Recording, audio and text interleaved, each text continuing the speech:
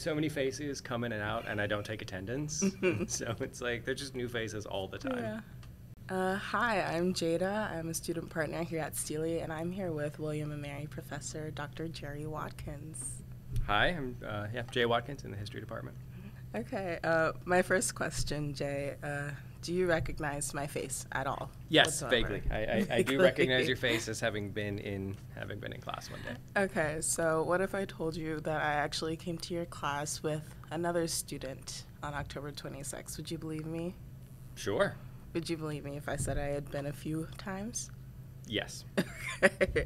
so from that answer, I would assume you have a pretty flexible attendance policy. I do. I have a very flexible attendance policy. And, you know, during during COVID, it became very clear that sometimes it's more important to let students make their decisions than have to panic about sending me an email and disclosing all kinds of things. And so I during COVID, I I gave that power back to students. I, and I say at the very beginning of class, I'm like, I trust that you will show up as often as you can, and I also trust that you are responsible enough to not come when you're sick or when you're just having stuff because, you know, as much as I I would love for you to be there every day, I recognize that sometimes life just kind of happens. And mm-hmm. so yeah, I, I it's kind of free flowing and new faces show up all the time. Yeah, that's great. I think that COVID for a lot of uh, professors made them readjust and reconfigure what they feel is a good class and what they think the students need the best. So I'm wondering now, because of that flexible attendance policy, how do you structure your class so that those students that are missing out because they're sick or for other personal reasons, how do you structure it so that those students can get the full experience of your class? So I record all of my lectures. I, I try to teach Monday, Wednesday, Friday, which I found for me is a really good way to Monday to or Monday, Wednesday lecture, and then on Fridays we tend to do more activity things, or we discuss whatever the article is of the week, or you know, kind of smaller group work. But always Monday, Tuesdays recorded and posted on Blackboard.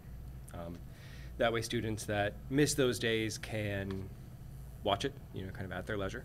And then the Friday material. Um, Sometimes students will come in and talk through the material. Other times they will discuss it with students.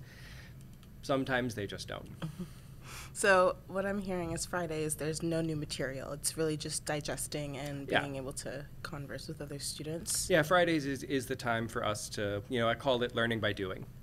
You know, so it's Monday, Monday, Wednesday, I'm kind of giving lecture, you know, some context to whatever the reading or, you know, however I've structured it that week. And then on, on Friday, yeah, we are just talking together and trying to learn through the material because what I found over the years is that students coming from so many different places have really interesting ways of reading material that, you know, at the beginning of the semester, I, I have an idea of what I want to teach that week, uh, but students oftentimes shock me in, you know, the really interesting ways they engage with material. And so Fridays, for me, are a really kind of special time that we get to learn together and that we get to kind of do this stuff in a more hands-on way that isn't me just giving information.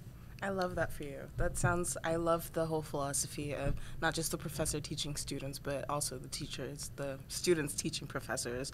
I, I tell my students, I, like, I learn so much from my students every year that, you know, I, I, one of the things I love most about he- here particularly is, you know, the students have a habit of engaging.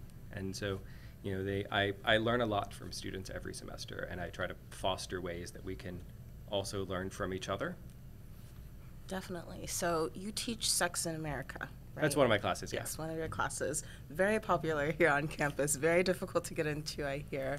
Almost as much as my Queer South class.